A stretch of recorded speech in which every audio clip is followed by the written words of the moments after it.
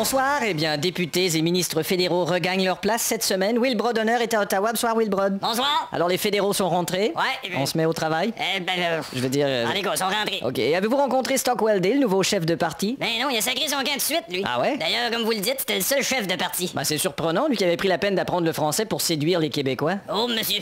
Ben, qu'est-ce qu'il y a? Hey, s'il séduit les Québécois avec son français, là. Quoi, il est pas Ben, moi, je peux séduire Sharon Stone avec mes combinaisons. Eh bien, Spatou, il organise un dîner bénéfice pour son parti à Toronto. Ouais. Il faudra payer 25 000 dollars pour y assister. T'as-tu ton voyage? Hein? pas possible. Mets 15% de pourboire là-dessus, là. Ah, c'est incroyable. Est-ce qu'à ce prix-là, tu prends pas de vin? Alors, vos prédictions pour les travaux parlementaires fédéraux provinciaux? Ah, je pense que les politiciens en général doivent se poser des questions sur leur administration. Et puis, il faut qu'ils se penchent sur la fraude et la criminalité. Et ça, je dis, leur administration. Voilà, c'est tout le lead d'ID.